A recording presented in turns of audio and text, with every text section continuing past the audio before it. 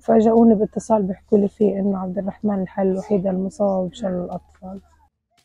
عبد الرحمن كان طبيعي قبل كان يزحف وكان يتحرك ويزحف برا الخيمة ويجري بالدراجة.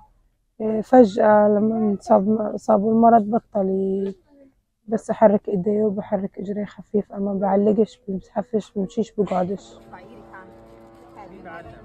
تم تنفيذ هاي الحملة بعد انتشار أو بعد اكتشاف الحالة الأولى من المرض شلل الأطفال لأول مرة في فلسطين في دير البلح بعد 25 سنة. طبعا هاي هي عينة اللقاح. آه، العبوة بتحتوي على 100 نقطة ل 50 طفل آه، لأنه بيتم تطعيم كل طفل بواقع نقطتين في الفم. الولد قبل الحب بشهر. واحد تسعة.